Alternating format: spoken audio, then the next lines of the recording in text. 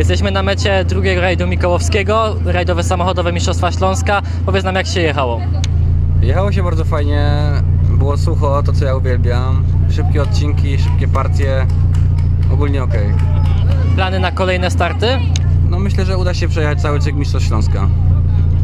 Generalnie jak podobał Ci się dzisiejszy rajd, jak, jak organizacja, jak odcinki? Nie, myślę, że na wysokim poziomie, ponieważ wszystko było sprawnie, nie było jakichś przerw, nie było czekania na pekacach czy przy, przy startem do odcinka. Sprawnie ok, oby tak dalej. Dobra. Gratuluję w takim razie. Dzięki wielkie. Z numerem czwartym Michał Bakula, Mateusz Śliwa, Citroen Saxo. A to wszystko w klasie 4.